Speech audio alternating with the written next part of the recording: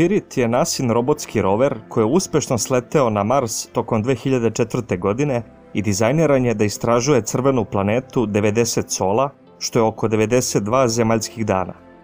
Poput sestrinskog rovera Opportunity, koji je sleteo na drugi kraj planete, prevazišao je sva očekivanja i funkcionisao je narednih šest godina na Marsu, pružajući nam neverovatne fotografije kao i pregršt naučnih podataka o ovoj planeti. Dobrodošli na kanal posvećen nauci i astronomiji, gravitacioni manevar. Ovo je prvi video iz serijala o Spirit roveru, gdje ćemo ispratiti njegovo sletanje kao i početak istraživanja crvene planete. NASA je tokom 90. godina imala dva uzastopna neuspeha sa misijama ka Marsu, koji su poljuljali poverenje u ovu svemirsku agenciju. Prvo je 1998. godine izgubljen Marsov klimatski orbiter koji je verovatno sagoreo u atmosferi usled greške u pretvaranju telemetrijskih podataka iz imperialnih jedinica u metričke. Nepunih godinu dana nakon ovog gubitka, Marsov polarni sletač nije uspeo da se spusti na površinu usled grešaka u telemetriji prilikom sletanja. Ovi neuspesi su pripisani drastičnom smanjenju nasinog budžeta jer misije nisu dovoljno ispitivane i testirane. Početkom novog milenijuma NASA je želela da ispravi ranije greške i pomeri granice tehnologije sa lansiranjem Marsovog istraživačkog programa, koji se sastojao iz dva identična rovera koji su nazvani Spirit i Opportunity. Slanje dva rovera bi uvećalo šanse za uspešno sletanje i planirano je da roveri slete na suprotnoj strani planete u oblastima koje su zanimale naučnike i geologe misije. Spirit je prvi lanciran sa zemlje 10. juna 2003. godine i proveo je narednih 7 meseci u krstarenju ka Marsu. Prilikom ulaska u atmosferu Marsa korišćen je toplotni štit kako bi letelica usporila sa ogromne brzine od preko 20.000 km na čas. Zatim je otvoren padobran koji je dodatno usporio letelicu nakon čega je odbačen toplotni štit i aktivirane su retro rakete kako bi se letelica zaustavila 10 metara iznad površine. Posljednja faza sletanja je podrazumevala odvajanje sletača od padobrana i aktiviranje vazdušnih jastuka kako bi se ublažio pad na površinu.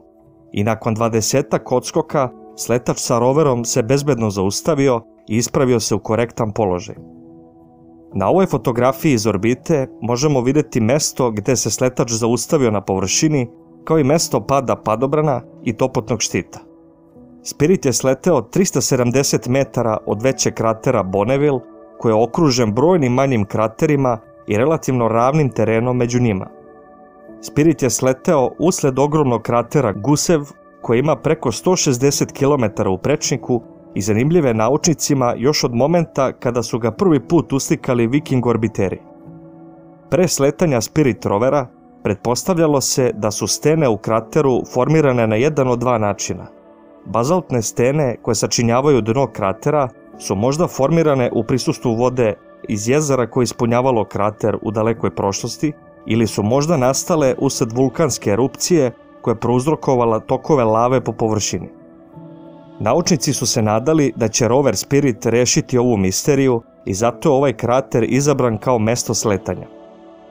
Prva fotografija u boji koju je Spirit uslikao sa mesta sletanja imala je najveću rezoluciju koja je do tada uslikana sa površine ove planete i na njoj možemo vidjeti relativno ravan teren ispunjen kamenjen prečnika 20 cm.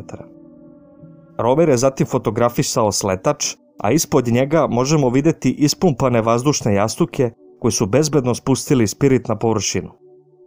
Spirit je težio 180 kg, i napajao se električnom energijom pomoću dve solarne ploče. Vrh njegovog jarbola sa kamerom se nalazio 1,5 metara iznad tla, a bio je širok 2,3 metra, a dugačak 1,5 metara. Svaki od šest točkova je imao zasebni motor i svaki točak je mogao da se nezavisno okreće 360 stepeni. Spirit i Opportunity su imali specijalno vešanje nazvano Rocker Boogie, koje je koncepirano još davne 1988. godine kako bi se koristilo za nasine rovere. Ovo vešanje je omogućilo prelazak preko prepreka na površini uz minimalno naginjanje tela rovera, a pritom ima i mali broj delova. Ovaj sistem se vremenom pokazao kao najbolji i danas ga koriste daleko veći i teži roveri Curiosity i Perseverance koji trenutno istražuju Mars. Spirit je na sebi imao pregršt naučnih instrumenata kako bi ispitivao uslove na Marsu i ovo su neki od instrumenata na samom telu rovera. PanCam se sastoji iz dve kamere koje omogućavaju stereofotografisanje površine u boji, što naučnicima omogućava analizu mineralogije kao i procenu veličine, oblika i teksture stena na površini Marsa.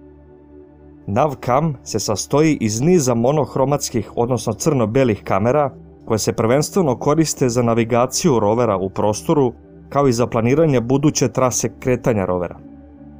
Mini-TES je skraćenica za minijaturni spektrometar termalnog zračenja. Ovaj instrument putem spektrometra analizira infracrveno termalno zračenje stena kako bi se utvrdio njihov tip i karakteristike izbjegavanja površinske prašine koja može da zavara optičke kamere.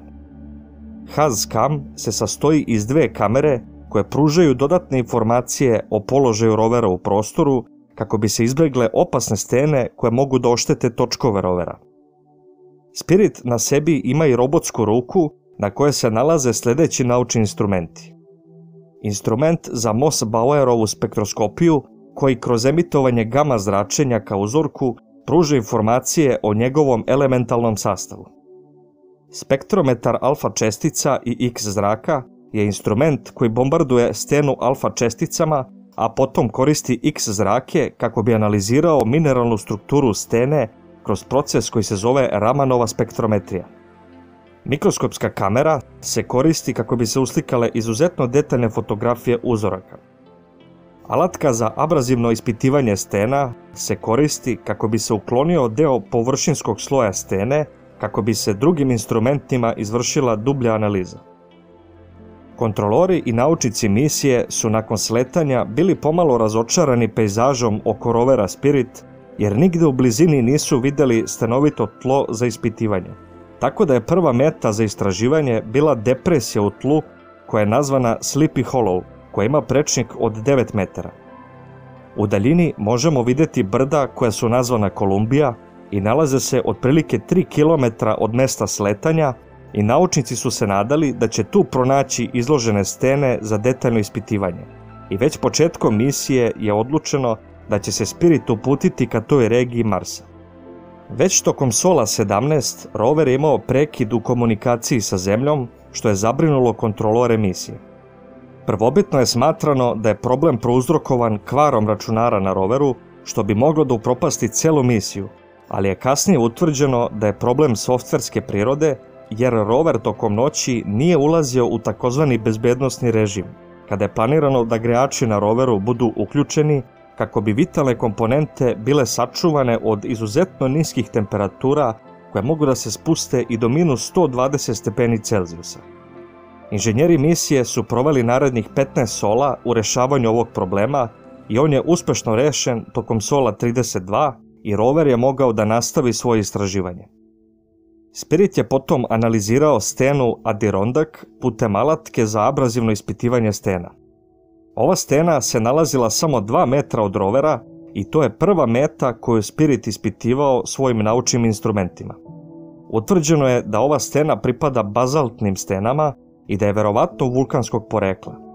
Ovo je pomalo zbunilo naučnike jer se na fotografijama iz orbite jasno vidi vodeni kanal koji vodi u krater Gusev, što sugeriše da se tu u dalekoj prošlosti nalazilo vodeno jezero, a nigde se ne vidi izvor vulkanizma koji bi formirao ovakvu stenu.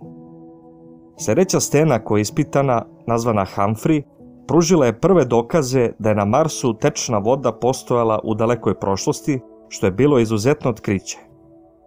Ova stena je visoka 60 cm i drastično se razlikuje od stena koje je Opportunity ispitivao do tog momenta i sugeriše da je ova oblast na Marsu imala manje vode od lokacije gdje je sleteo Opportunity, ali je potvrđeno da je krater Gusev u dalekoj prošlosti bio jezero.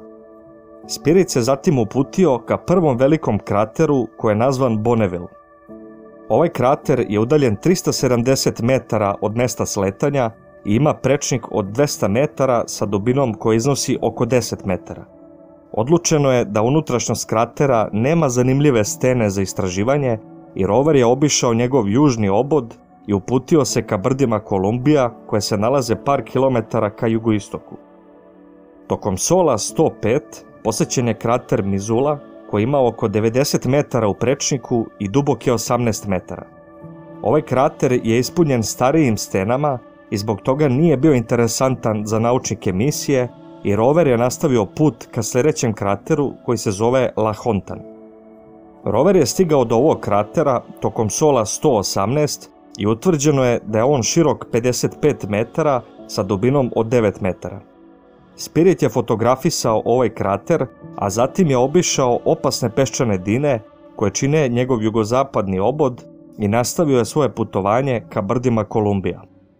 Šta se dalje dešavalo sa ovim roverom i šta je pronašao u nastavku svog istraživanja Marsa? To ćemo otkriti u sljedećoj epizodi. Hvala vam što ste gledali ovaj video i nadam se da ste uživali. Ukoliko vam se dopada video, ostavite like i prijavite se na kanal kako ne biste propustili sljedeći video u ovom serijalu. Veliki pozdrav i vidimo se u sljedećoj epizodi.